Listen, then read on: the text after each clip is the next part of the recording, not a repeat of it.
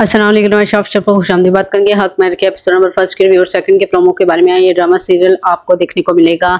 चार ड्रामा की जगह जो है, आठ बजे टीवी पर आठ बजे यूट्यूब पर और जो है सात बजे टीवी पर। इस ड्रामा सीरियल की कहानी कुछ इस तरह से है कि बिरसा जो कि अपने माँ बाप की इकलौती बेटी होती है और वहीं पे दूसरा फरमान जो कि उसके ताया का बेटा होता है और वहीं उसके मामू का बेटा। दोनों ही उसे पसंद करते हैं। फरमान जो कि एक नगम्बर का निकम्मा इसमें दिखाया गया है। वो बिल्कुल भी जो है काम काज नहीं करता लेकिन उसे विरसा चाहिए होती है और उसे पसंद भी करता है।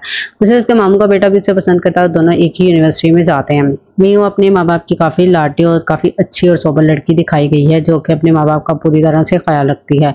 वहीं जो है, वकार, जो कि एक एलिट क्लास फैमिली से बिलोंग करता है और वहीं पे जो है, उसकी माँ जब विरसा की तस्वीरों से दिखाती है तो उसे पहली नज़र में ही विरसा पसंद आ जाती है और वो इस रिश्ते के लिए हामी भर देता है।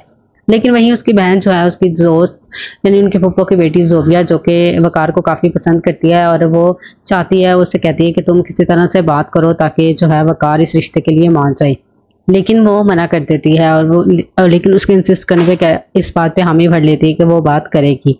और वहीं जो है पहली नज़र में विरसा पसंद आती है तो वो अपनी माँ से कहता है, आप चाहें बल्कि अभी ही चाहें आने वाले एपिसोड में हम लोग देखेंगे किस तरह वो समझाती है उसे और अपने माम के बेटे को भी समझाती है। और दूसरी तरफ़ वो जब उसकी बहन जब वकार से बात करती है तो उसे कहता है कि मैंने कभी भी जोबिया को इस नज़र से नहीं देखा है और ऐसा कभी नहीं हो सकता। वहीं पे दूसरी तरफ़ जो है, वो उसके मामू का मामू भी रिश्ता लेके आ जाता है वर्षा के लिए और नहीं उसका ताया भी। दोनों ही लेकिन उसकी ताई कहती है कि नहीं जी, इसका रिश्ता तो हमारे ख़ानदान में ही होगा, ये हमारे ख़ानदान की बच्ची है वगैरह वगैरह।